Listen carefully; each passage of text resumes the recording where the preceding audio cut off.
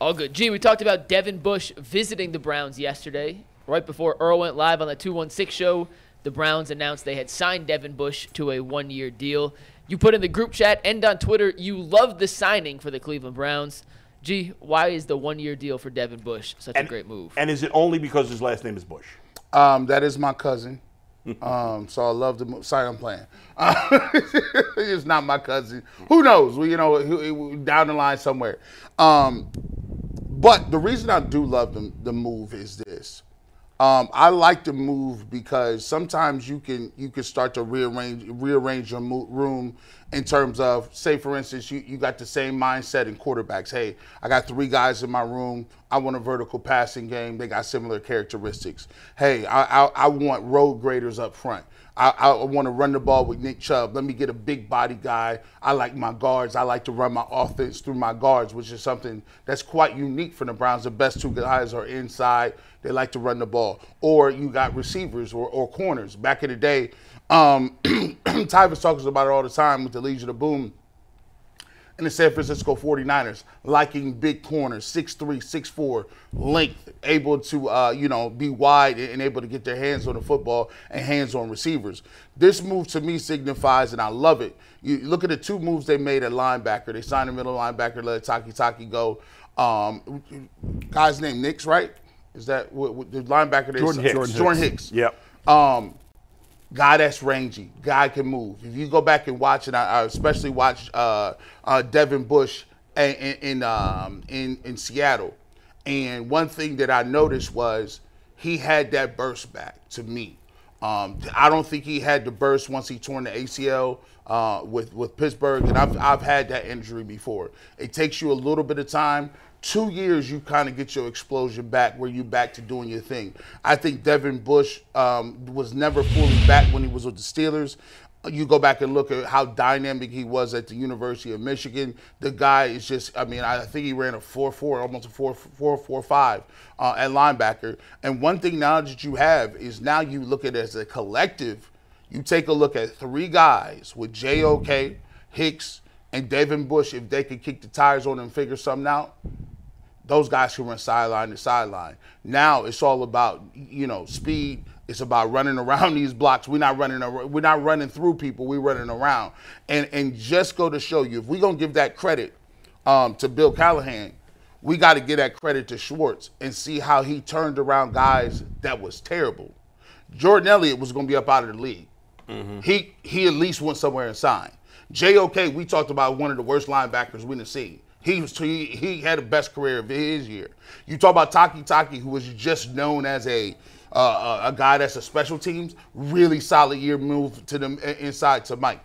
So for me, if if there's one person that could get the most out of a guy linebacker in this scheme, it is Jim Schwartz, and I think he'll look a lot better with with the Browns than he did in other t- schemes because of who he's going to play with.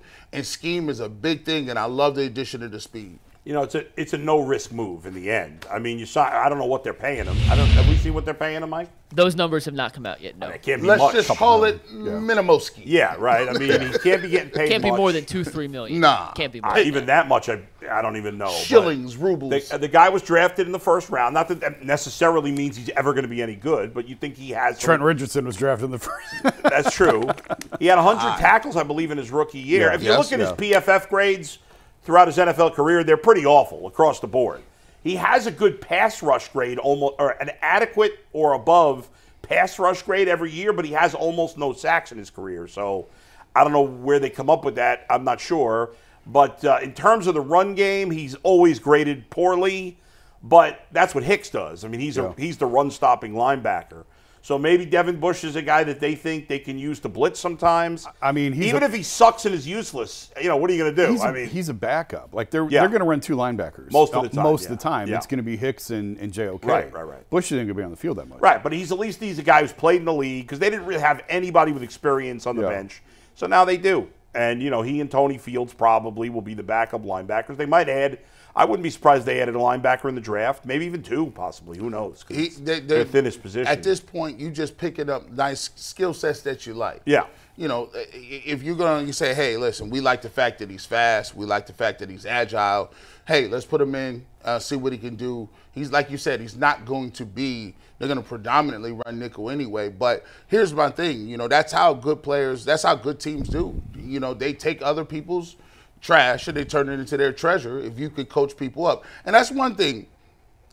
Always under like development is a thing. Like or there are organizations that pride themselves on hey, yeah you might not have been good over here but let me come over here and coach you up. Maybe you, maybe the linebackers coach was trash or maybe you just didn't get an opportunity. That's the great thing that that that, that football brings you. Is development. Like hey just these guys are not finished products right? They might have a great ceiling but can you coach them up to be adequate pieces and parts? Hey listen hey sam merrill is, is in the rotation.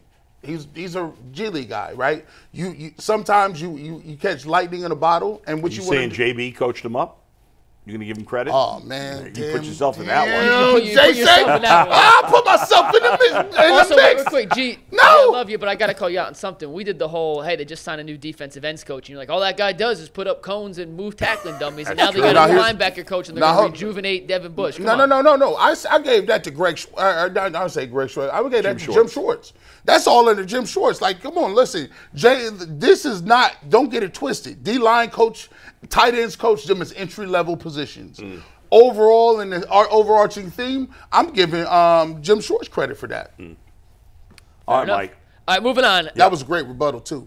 if you want to rebut a lost bet, you can win it back. Uh, the bet transition. You can say goodbye to busted brackets because FanDuel lets you bet on every game of the upcoming NCAA tournament, the men's side and the women's side.